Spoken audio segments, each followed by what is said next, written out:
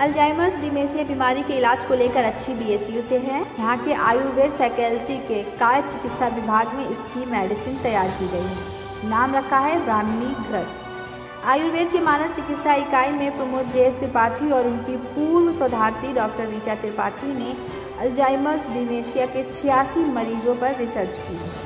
इसमें 40 से लेकर पिचासी साल तक के लोग शामिल थे। इन लोगों पर दवा के पॉजिटिव रिज़ल्ट आए हैं। अल्जाइमर्स डिमेशिया भूलने की बीमारी है। I M S B H U के डॉक्टर का कहना है कि खुद को मेंटली एक्टिव नहीं रखने वालों को अल्जाइमर्स डिमेशिया की दिक्कत हो रही है।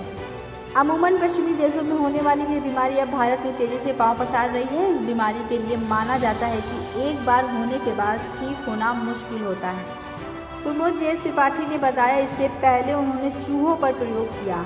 उनके दिमाग के अंदर वाले हिस्से में देखा गया तो ये पता चला कि रोग को बढ़ने से रुक गया था। सामने आया कि कोशिकाओं के नष्ट होने से स्पीड कम हो गई है। हालाँकि इस दवा को लेकर कोई रजिस्ट्रेशन या दावा नहीं किया गया है। अभी ये रिसर्च के लेवल पर ही है। ब्राह्मीग्रत एक तरह का पाउडर है। इसे देसी घी में तैयार करके बनाया गया है। डॉक्टर ऋचा त्रिपाठी ने बताया, आयुर्वेद के अनुसार ये दवा मरीजों को खाली पेट ही दी जाती है। इस दवा को लेने के एक घंटे बाद कुछ भी खाना नहीं होता है। असर ऐसे होता है कि दो तीन महीने में मरीज़ को पुरानी बातें याद आने लगती हैं।